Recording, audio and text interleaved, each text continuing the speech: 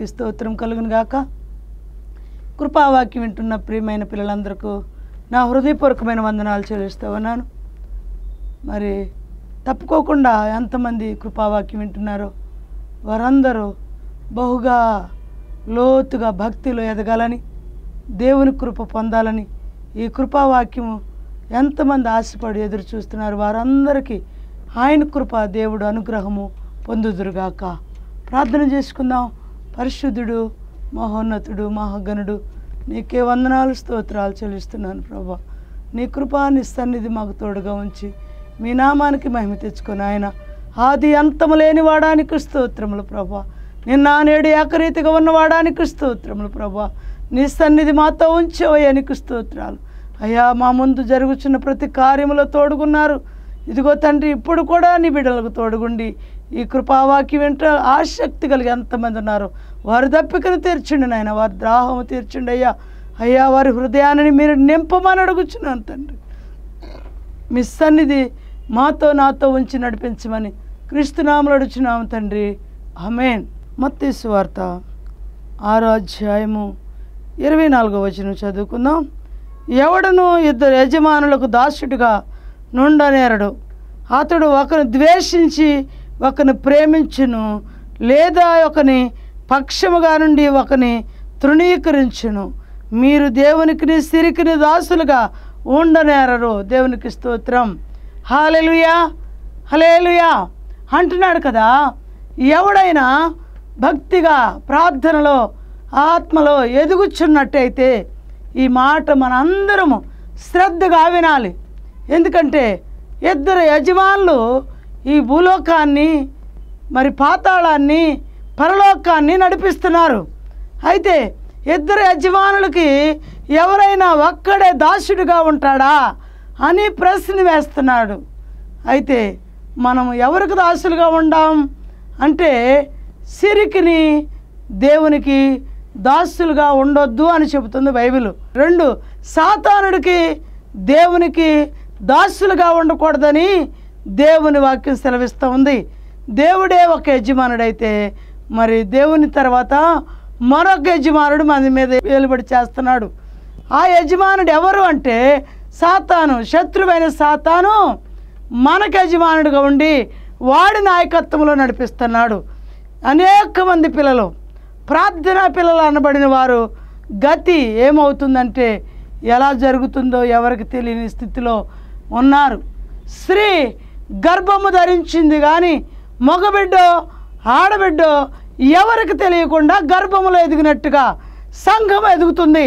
సంఘం ఎక్కడుందంటే గర్భములో ఉంది. గర్భములో ఉన్న బిడ్డ ఎలా ఎదుగుతుందో అవయవాలు ఎలా పొదిగాడో అవయవాలు ఎలా పుట్టించాడో ఆ పరమందున్న దేవుడికి తప్ప ఆ కనబోతున్న స్త్రీకి కూడా తెలియని రీతిగా ఏ విధంగా ఉందంటే అలాగే సంఘం ఈ రోజున సంఘములోనే దురుద్దేశాలతో శత్రువుకి యాజమానత్వం కింద ఉన్నవారు దేవునికి కొందరు యాజమానత్వం పొందుకున్నవారు సంఘములోనే ఉన్నారు. ఈ రోజున మనం చూస్తే సంఘములో ఉన్న పిల్లలు ఆ యజమానత్వం ఎవరికి ఇచ్చాం ఆ యాజమాన్యం ఎవరికి అప్పగించబడింది అని మనం పరిశీలన చేసుకోవాల్సిందిగా నేను మనవి చేస్తా ఉన్నా మీ అందరికీ. ఎందుకంటే అపవాది చాలా కుయుక్తి గలవాడు అపవాది మనల్ని నడిపిస్తున్నాడేమో. ప్రార్థనకని వెళుతున్నాం కానీ ప్రార్థన రీతిగా నడవలేకపోతున్నావేమో.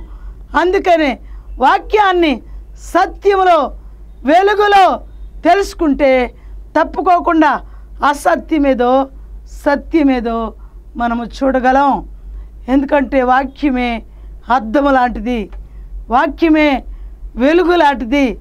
వాక్యములో ఎప్పుడైతే నిలుచుండి ప్రభా ఇదిగో నీ వాక్యము చేత నన్ను కట్టు. నీ వాక్యము చేత సర్వసత్యములో నన్ను నడిపించు ప్రభా అని ప్రార్థన చేసినట్టయితే తప్పుకోకుండా మన యజమానుడైన దేవుడు మన చేయి పట్టుకొని నడిపించబోతున్నాడు. దేవునికి స్తోత్రం. అందుకే నాయన అంటున్నాడు కదా ఎవడైనా పర్వాలా ఏ కులమైనా ఏ మతమైనా ఏ గుళ్ళో ఉన్నా ఏ సంఘంలో ఉన్నా కానీ నీవు ఏ యజమాని కింద మరి నాయకత్వం కింద ఉన్నావు అని మాట మనకు తెలియచేస్తా ఉన్నాడు మనం అనుకుంటున్నాం మన నాయకుడు ఎవరంటే భూలోక సంబంధంగా వాక్యం చెప్తున్న నాయకుడే. ఆయనే నా యజమాని అనుకుంటున్నావా? ఇంకొక వరుస నిన్ను పెనిమిటిగా చేసుకున్న భర్త అనుకుంటున్నావా? ఇంకొక వరుస రక్షించిన వాడు విమోచకుడు ఆయనే రక్షణకర్త అయిన దేవుడు. ఆయన నాయకత్వంలోనే ఉన్నావా? మనం పరిశీలన చేసుకోవాలి ఈ రోజున. ఒకవేళ ధనము కొరకే డబ్బు కొరకే ఆస్తుల కొరకే బానిస అయిపోయావా? దేవుని విడిచిపెట్టావా? అదే నాయకత్వంలో ఉంటే గనక నువ్వు వెలుతురులోకి రా. వెలుగులోకి తెచ్చుకో ఆ విషయాల్ని. నీ హృదయంలోకి తెచ్చుకో. నీ హృదయమని వెలుగులోకి తెచ్చుకొని పరిశీలన చేసుకో ఈ రోజున. ఎందుకంటే మన దేవుడే మనల్ని హెచ్చరిస్తా ఉన్నాడు ఏ నాయకత్వంలో ఉన్నావు నువ్వు?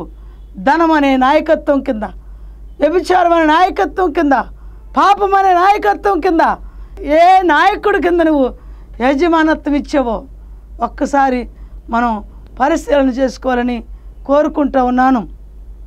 అందుకనేమంటున్నాడంటే ఎవడును? ఇరవై నాలుగో వచ్చిన చెబుతుంది.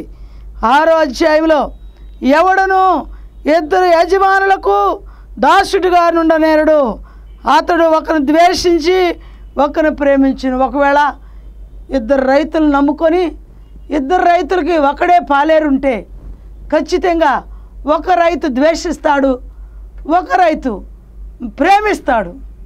అలాగే మన మీద ఉన్న ఇద్దరు నాయకత్వాలు ఎవరు అంటే ఖచ్చితంగా అపవాదైన సాతానుడు సృష్టికర్త అయిన దేవుడు.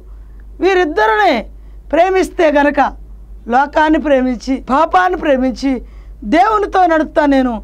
దేవుడు కూడా కావాలి నాకు అని అంటే కుదరనే కుదరదు. ఒక వరలో రెండు కత్తులుంటే ఏమడవు? కలవు. కనుక ఏదో ఒకటే ఉండాలి. కనుక ఆయన అంటున్నాడు కదా అపవాదికైనా లోబడి ఉండాలి. దేవునికైనా భయపడి జీవించాలి. ఎవరో ఒక్కరే మన పక్షాన ఉండాలని ప్రభు కోరుకుంటున్నాడు. అయితే ఖచ్చితంగా ఆయన చెబుతున్నాడు కదా యజమానుడు అంటే ఏ యజమానుడి కింద నువ్వు ఉన్నావో ఎక్కడ బానిసగా ఉన్నావో ఎక్కడ పాపముల మగ్గిపోతున్నావో ఎక్కడ తప్పిపోతున్నావో ఎక్కడ జారిపోతున్నావో దాన్ని గ్రహించే జ్ఞానము దేవుని దగ్గర అడిగితే తప్పుకోకుండా దేవుడు మనకు అది తెలియచేయబోతున్నాడు నీకు వాక్యం ద్వారా దేవుని దాస్తుల ద్వారా కళ ద్వారా దర్శనం ద్వారా. తప్పకుండా దేవుడు మాట్లాడబోతున్నాడు.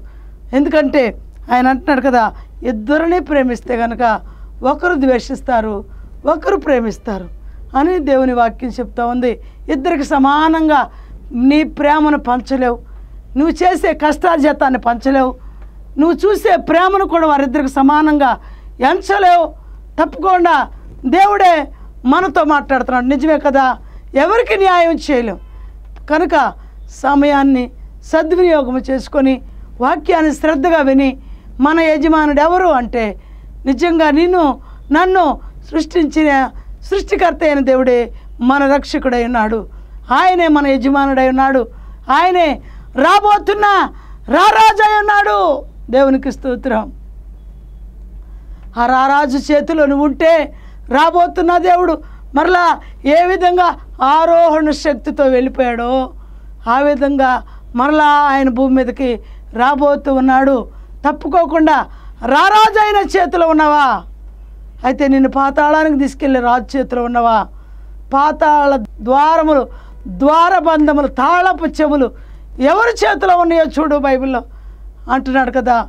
తప్పుకోకుండా ఆ ద్వారబంధములు తీసి వాడు ఎదురు చూడకుండా ఆ యాజమానత్వం నుండి తప్పించుకోబడితే మనం తప్పుకోకుండా నిత్య అగ్నిగుండాన్ని తప్పించుకుంటాం. నిత్య రాజ్యాన్ని పొందుకోగలము. ఆయన అంటున్నాడు కదా ఏ యజమానుడి కింద ఉన్నామని నిన్ను నీవే విశ్వాస జీవితంలో పరిశీలన చేసుకోవాల్సిందిగా మనవి చేస్తావనా? ఆయన అంటున్నాడు కదా మీరు దేవునికిని సిరికిని దాసులుగా నుండనేరరు. సిరిని సంపాదించొద్దని. సిరిగా దేవుని యొక్క చిత్తము లేకుండా అన్యాయము ఆక్రమైన సొమ్ములతో ఆశించి సిరిగా సిరి సిరి సిరి అని పెంచుకుంటూ ఆస్తులతో మనము తలతూగుతూ దేవుని మాటలు పక్కన పెట్టి దేవుని చిత్తాన్ని కోల్పోయినట్టయితే సిరికిని దేవునికి నువ్వు దాసుడిగా ఉండనేరవు. దేవుడు ఈరోజు మీరు మీతో మాట్లాడుతున్నాడు. ఈ కృపావాక్యం వింటున్న పిల్లలందరూ తప్పుకోకుండా ఈ వాక్యాన్ని చూసి నిజంగా నేను దేని కింద దాసుడిగా ఉన్నాను అని మీరు పరిశీలన చేయవలసిందిగా మనం చేస్తున్నాను.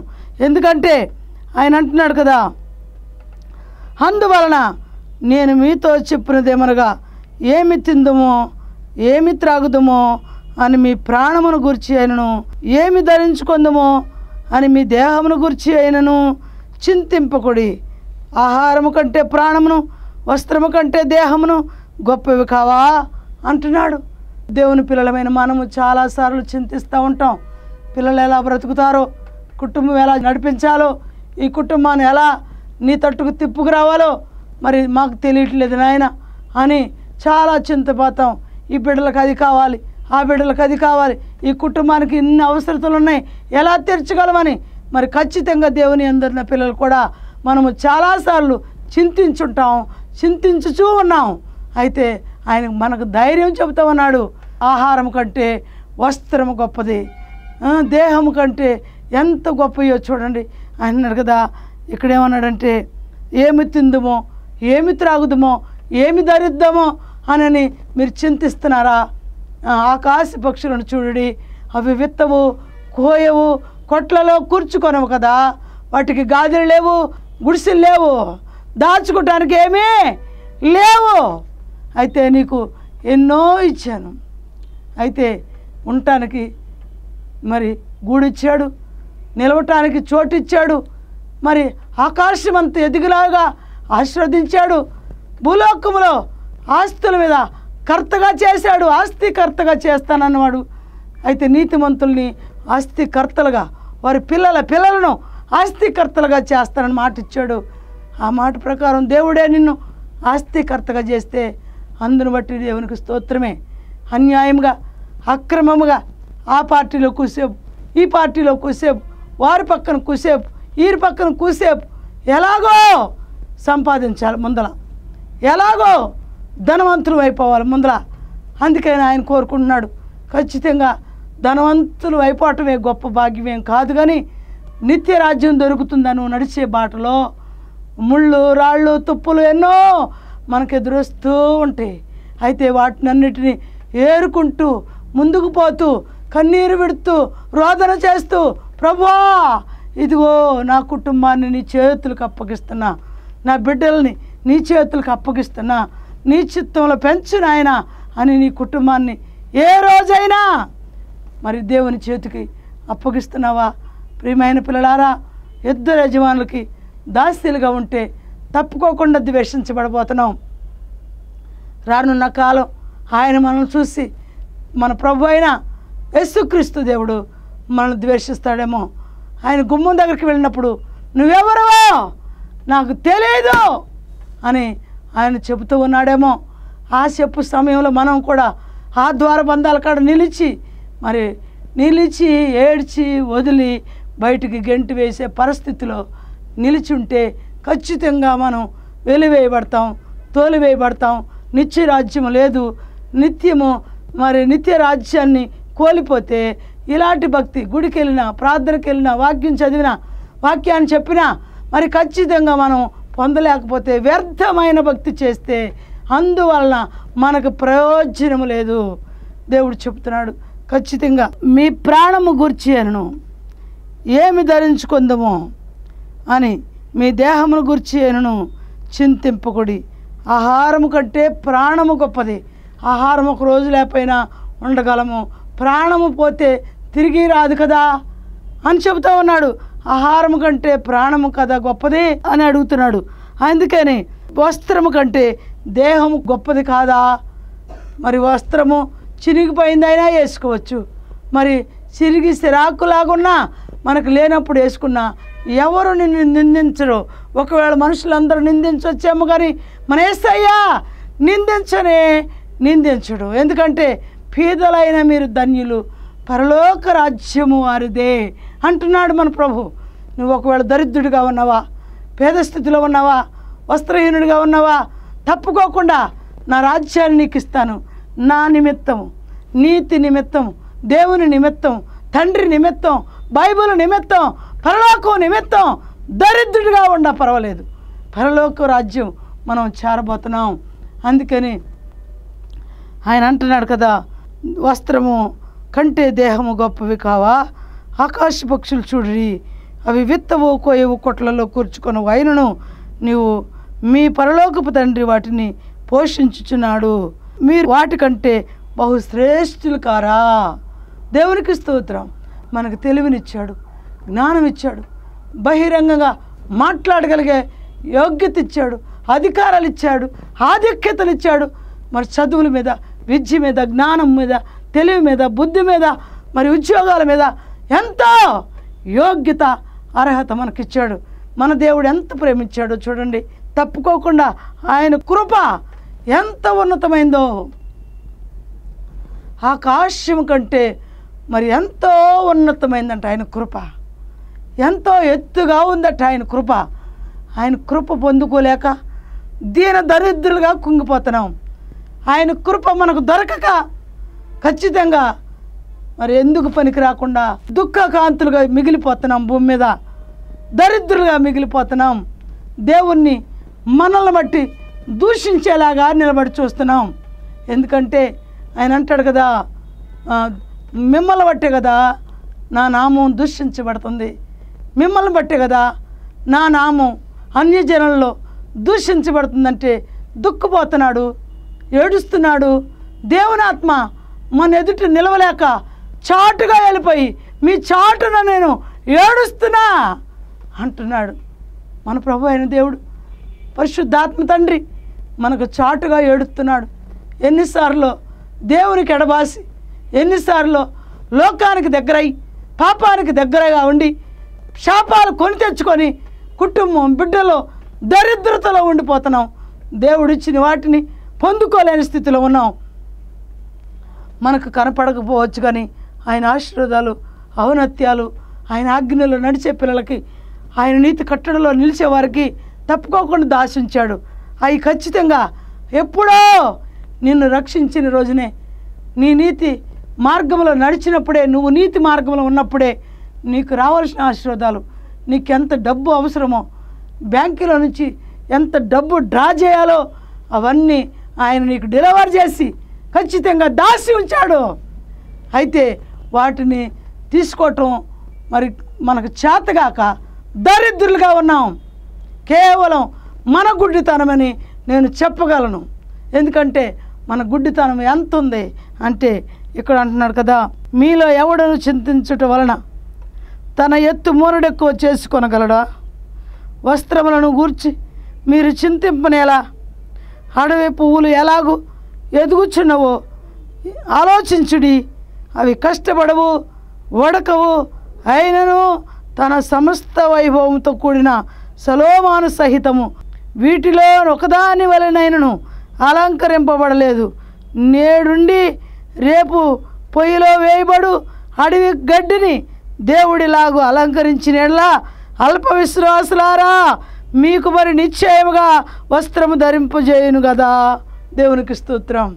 అంతే కదా మన ప్రభు చెబుతున్నాడు నేడుండి రేపుండి మూడవ రోజున గడ్డి మాడిపోద్ది కోసేస్తారు ఎండిపోద్ది పొయ్యిలో పెడితే తగలబెడితే నిప్పు కాలిపోతుంది. అలాంటి గడ్డికే అడవిలోని పువ్వులకి ఎవరిచ్చారో? ఆ యొక్క రంగులు రంగులు వర్ణాతీతం కాని రంగులు ఎవరిచ్చారు? ఆ అలంకరణ ఎక్కడిది గడ్డికి? ప్రభు చెబుతున్నాడు. మాడిపోయే గడ్డికి వాడిపోయే గడ్డికి సౌందర్యం కోల్పోయే గడ్డికి ఎంత వైభవం ఇచ్చాడే? సువాసన ఇచ్చాడు పరిమళం ఇచ్చాడు ఆ రంగులు ఇచ్చాడు మకరందాలు ఇచ్చాడు. ఆ గడ్డి పువ్వునే సృష్టికర్త అయిన దేవుడు అలంకరిస్తే నీవు దీన దరిద్రుడిగా నిన్నెందుకు అలా ఉంచుతాడు దేవుడు అని చెప్తా ఉన్నాడు. నిజమే కదా ప్రియమైన పిల్లలారా? మనం ఒక మనుషులుగా పుట్టాం. ఆయన కుమారులు అనిపించుకుంటాకి ఆయన బిడ్డలుగా తీర్చిదిద్ది ఆయన కొరకు ఎదురు చూసేవారుగా ఉండాలని ఆయన చెబుతున్నాడు. తప్పుకోకుండా ఆయన కుమారులు అయితే ఆయన అంటున్నాడు కదా నేను రాజును కదా. నేను రాజ్యాలనే స్థాపించగలను. ఆకాశం కంటే ఉన్నతమైనది భూలోకములు ఏది లేదే. ఆకాశాన్ని భూమిని పాతాళమును పరలోకమును స్థాపించేవాడు నేనే సృష్టించిన వాడు నేనే. అయితే నీ కొరకు నేను నిత్య రాజ్యాన్ని స్థాపించాను కదా ఆ రాజ్యం పొందుకోలేని స్థితిలో. ఆ యొక్క దేవుని యొక్క అలంకారము మనము ఇచ్చిన వాటిని అనుగ్రహం పొందుకోలేని స్థితిలో. ఎంతమంది ఉన్నాం? ఎంతమంది ఉన్నాం? ఆయన అంటున్నాడు. పరిశీలన చేసుకో. మనుషుడా నీవేది ఉత్తమమైంది చూస్తున్నావో ఏది విత్తుచున్నావో ఇత్తి వాటిని కోయివాడో నీవే కదా అంటున్నాడు. ప్రభు ఎంత కొలతేసి చెబుతున్నాడే నీకెంత వైభవం చదువు జ్ఞానము తెలివి వివేకం ఆస్తులు పాస్తులు ఎన్నో డబ్బు ధనము ఎన్నో వైభవాలు నీకు ఇచ్చేనే అయినా నువ్వు చింతిస్తున్నావా? అయినా నువ్వు దరిద్రుడిగా ఉంటున్నావా? నీకు జ్ఞానము లేదా? నిన్ను సృష్టించిన వాడు నీకు భర్త ఉన్నాడు నేను రాబోతున్న కాలంలో నీ కొరకు ఒక భాగ్యము తేబోతున్నాను. వధువు సంఘముగా ఉండాలి. వధువుగా ఉండాలి. అలంకరించబడి ఉండాలి. అడవిలోన పువ్వులకి రంగులు రంగులు వైభవాలు ఎవరు తిలకించారు? అయితే నేను నిన్ను తిలకించలేదా? వాడు మారిపోయిన గడ్డికే నేను వికసింపజేసే చేసే అలంకారణిస్తే నిన్ను నా కుమారుడిగా చేసుకొని నా స్వాచ్ఛంగా స్థిరపరిచి నా రాజ్యంలో ఉన్న వైభవం అంతా నీకు ఇవ్వాలని నేను సిద్ధపరిచాను కదా. ఎందుకు? నా కుమారుడా నువ్వు చింతిస్తున్నావు అని అడుగుతున్నాడు. ఈ రోజున మనం ఎంత రుణస్తులమో దేవుడికి. మనల్ని ఎంత జ్ఞాపకం చేసుకున్నాడో ఎంత ఉన్నతమైన స్థానంలో ఉంచాలని చూశాడో ఎంత ప్రేమించాడో ఎంత ప్రేమించిన దేవుని మాటలు పక్కన పెట్టి ఆయన కొరకు ఎదగలేని స్థితి జారిపోయే స్థితి పడిపోయే స్థితి మన ఎదుట ఉన్నదే. నేను ఇది దాటగలనా? ఈ దరిద్రత నుంచి పైకి రాగలనా? ఈ చీకటిలో నుంచి పైకి ఎదగలనా? వెలుగులోకి నేను వెళ్ళగలనా? అని ఒకప్పుడికైనా ఉన్నవాడిని అవుతానా? ఒకప్పుడికైనా పేద స్థితి నుంచి ఉన్నతమైన వాడిగా నేను నిలవగలనా? అని ఇన్ని ఆలోచనలు చేసి ప్రభుకి ఇష్టం లేని తలంపులు మనలో పెట్టుకొని దీన దరిద్రులుగా మారిపోతున్నాం. ఆయన ఇచ్చే వైభవాలు తీసుకోవటం చేతగాక దరిద్రులుగా మారిపోయాం. పనికి రాకుండా పోయాం. తప్పుకోకుండా ఈ వాక్యాన్ని విని నిజంగా అడవిలో నశించిపోయే గడ్డికి వాడిపోయే గడ్డికి మరి ఎండిపోయే గడ్డికి ఎంత అలంకారం ఇస్తే నా కుమారుడుగా చేసిన మీకు నా స్వాస్థ్యంగా ఏర్పరచుకున్న మీకు నేను మిమ్మల్ని ఎందుకు అలంకరించను? నా చేతుల్లో ఏ ధనఘనతలు లేవా? నాకు చేత కాదా? మిమ్మల్ని పోషించలేనా? అని అడుగుతున్నాడు మన దేవుడు. నిజమే ప్రియమైన పిల్లలారా మన కొరకు ఇచ్చిన వాటిని మనం పొందుకోలేకపోతున్నాం. మన గుడ్డితనమే మన భక్తిహీనతే ఖచ్చితంగా ఆయన చెబుతున్నాడు కదా. ఇంకేమంటున్నాడంటే ముప్పై రెండవ వచనం ఆరో అధ్యాయంలో ముప్పై రెండవ వచనం ఇవన్నీ మీకు కావాలనని మీ పరలోకపు తండ్రికి తెలియను. కాబట్టి మీరు ఆయన రాజ్యమును నీతిని మొదట వెతుకుడి. అప్పుడు అవన్నీ మీకు అనుగ్రహింపబడును. రేపటి గురించి చింతింపకుడి. రేపటి దినము దాని సంగతులను గురించి చింతించును. ఏనాటి కీడు ఆనాటికే చాలును. ప్రభు అంటున్నాడు కదా ఖచ్చితంగా రేపుని గురించి చింతించమాకు ఏ రోజుకి ఆ రోజే చాలు. అయితే మీకు రేపుడు గురించి ఏం తిందుము ఏం త్రాగుదుము ఏం ధరించుదుము ఎలా బతకాలి అని భవిష్యత్తు ఆలోచించుకోకాకు ఎప్పటికీ ఏ కీడు ఆ కీడే చాలు. ఏ రోజు రాబోతున్న శోధన ఆ రోజే జయించలేము రేపటి గురించి నువ్వెందుకు చింతిస్తున్నావు? మొదట నా నీతిని నా రాజ్యమును వెతకండి అని ఖచ్చితంగా చెబుతున్నాడు ఆయన. ఎందుకంటే మొదట ఆయన నీతి ఆయన రాజ్యం వెతికితే నీకు కావాల్సిన అక్కరలన్నీ నాకు తెలుసు. నీకు కావాల్సిన అవసరతలన్నీ నాకు తెలుసు అని ఖచ్చితంగా చెప్తున్నాడు అందుకని ఆయనకి మనం ఏమిచ్చి రుణం తీర్చగలం? మొదట ఆయన నీతిని నడవటానికి మొదట ఆయన ఆధిపత్యముగా నిలబడటానికి పరపక్షం ఉందో మన దేవుడు ఉంటే మనము ఎందుకు పనికి రాకుండా అయిపోతాం? చించేసిన ఇస్త్రాకులాగా అయిపోతాం.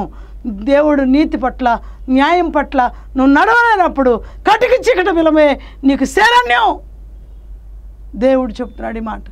దేవుని పట్ల దేవుని వాక్యం పట్ల దేవుని దాసుల పట్ల నీతి పట్ల న్యాయము పట్ల నువ్వు నిలబడకుండా పరపక్షం ముందున్న శత్రువు పక్క నిలబడితే అన్యాయస్తుడి పక్కగా వెళ్ళిపోతే ఖచ్చితంగా కటిక చీకటి బిలమే మనకి ఖచ్చితంగా నిత్య భాష్యములు అవుతాయి. తప్పుకోకుండా వాక్యం సెలవిస్తూ ఉంది. కనుక ప్రియమైన పిల్లలారా తప్పకుండా విజయం చూడాలని మనం చేస్తున్నాం. ఆయన అంటున్నాడు కదా నలభై మూడో వచ్చును ఐదు నలభై మూడో వచ్చును నీ పొరుగువాని ప్రేమించి నీ శత్రువులను ద్వేషించమని చెప్పబడిన మాట మీరు విన్నారు కదా? నేను మీతో చెప్పున ఏమనగా మీరు పరలోకమందున్న మీ తండ్రికి కుమారులై ఉండినట్లు మీ శత్రువులను ప్రేమించుడి మిమ్మల్ని హింసించు వారి కొరకు ప్రార్థన చేయుడు దేవునికి స్తోత్రం. మనల్ని ఎవరు హింసిస్తున్నారు? ఎవరు శత్రువులుగా ఉన్నారు? ఎవరు ద్వేషిస్తున్నారు? ఎవరు ఎవరో ఇంట్లో మారని భర్త మారని కుటుంబం మారిన రక్త సంబంధులు అందరూ శత్రువులుగా ఉంటే ఆయన కృప మనకు దొరకదు కనుక మనం ఏం చేయాలంటే వాళ్ళని ప్రేమించాలి. వాళ్ళని ప్రేమించి ఆయన రక్తంలో కడగబడిన వారుగా అగులోకి వారిని నడిపించాలి. అప్పుడే దేవుడు నిన్ను నన్ను క్షమించబోతున్నాడు. నువ్వెవరి పాపములు అయితే క్షమించావో నీ పాపములు కూడా నేను క్షమిస్తానంటున్నాడు. అట్టి ప్రేమ అట్టి కృప అట్టి దయ మనము కలిగి ఉండాలంటే ఆయన కృప మనకు తోడై ఉంటేనే ఇవన్నీ నెరవేర్చగలం. శత్రువుని ప్రేమించు పగవారిని ప్రేమించు అయితే ఆయన మాట అంగీకరించు. ఎంత కోపమున్నా ఎంతో ఆ, ప్రభు కొరకే కట్టబడి ఆయన నీతి మైమరువుల్లో నడిచి జీవిస్తే ఆయన కృప మనందరికి దేవుడు దయచేను గాక. వాడిపోయిన గడ్డినే నేను అలంకరించానమ్మా. తప్పకుండా మిమ్మల్ని అంతకన్నా ఎక్కువగా నా కుమారులను పేరు పెట్టుకున్నాను. మిమ్మల్ని కూడా నేను గొప్పగా అలంకరించి నిత్యరాజ్యం మీకు ఇవ్వబోతున్నాను. మీ కొరకే పరలోకాన్ని సిద్ధం చేశాను అని తప్పుకోకుండా మన దేవుడు మనతో మాట్లాడుతున్నాడు. కనుక ఆ వైభవాలని పోగొట్టుకోకుండా శత్రువులను పగవారిని ద్వేషించకుండా దీవించి శుభవచనం చెప్పి ఖచ్చితంగా శాపవచనం పలకకుండా ఐక్యత ప్రేమ సమాధానము సమకూర్చుకొని నిత్యరాజ్యం పొందుకునేలాగా మనం ఉండాలని ఆయన కోరుకుంటున్నాడు. తప్పుకోకుండా మనం వాక్యాన్ని చూసి అడుగుడి మీకు ఇవ్వబడును వెదకుడి మీకు దొరుకును తట్టుడు మీకు తీయబడును అని చెబుతున్నాడు. ఇక్కడేమో నీ అవసరతలన్నీ నీ దేవునికి తెలుసు నాకు అన్నీ తెలుసు. నా నీతిని నా రాజ్యాన్ని అడగమన్నాడు. ఆయన నీతిని అడిగేవారు ఎవరంటే రక్షణ మారుమనసు పొందిన వారు నీతిని రాజ్యాన్ని వెతకాలి. రక్షణ మారుమనసు లేని వారు ప్రభు అంటున్నాడు. మీరు అడిగితే నేను ఇస్తాను. ఏది కావాలో అడుగుడి. మీకు అది అనుగ్రహించబడుద్ది అని చెబుతున్నాడు. ఇప్పుడే రక్షణ పొందుంటే ఆయన నీతిని ఆయన రాజ్యాన్ని వెతుకు. ఒకవేళ రక్షణ మారమనసు లేకపోతే మొదటగా నువ్వు ఆయన్ని నీ అవసరత ఏందో చెప్పు. ప్రభు తప్పకుండా ఆ అనుగ్రహము మీకు నాకు అనుగ్రహము మనందరికీ దేవుడు దయచేను గాక. మీ కుటుంబములు మీ పిల్లలు దీవించబడుదురు కాక ఇద్దరు యజమానులకి దాసులుగా ఉండకుండా ఒకే యజమాని ఎవరో తెలుసుకొని నిత్య రాజ్యం కొరకు ప్రయాసపడితే అట్టి కృప దేవుడు మనందరికి దయచేయను గాక ఆమె ప్రార్థన చేసుకుందాం. ఉన్నతుడు మహాగణుడు నీకు వందనాలు. జీవం గల తండ్రి జీవాధిపతి నీకు స్తోత్రాలు. అత్యున్నతమైన కృపగల దేవా నీకు స్తోత్రాలు. కృపావాక్యం వింటున్న పిల్లల కుటుంబాలను దీవించి ఆశీర్వదించిన ఆయన అతి ఉన్నతమైన స్థానంలో నిలబెట్టు ప్రభా. మారు మనసు రక్షణ పొందడానికి సహాయం చేయ్యా ఏ యజమాని చేతిలో ఉన్నారో తెలుసుకోవడానికి సహాయం చేయనైనా ఈ వాక్యం విని ఏ యజమానుడి కింద బానిసత్వంగా ఉన్నారో వారి కట్టులు విప్పమని అడుగుతున్నాను ప్రభా. వారి కుటుంబాలకు దీవెన ఆశీర్వాదాలు దయచేయమని క్రీస్తు నామలు అడిగి వేడుకుంటున్నాము తండ్రి. ఆమెన్.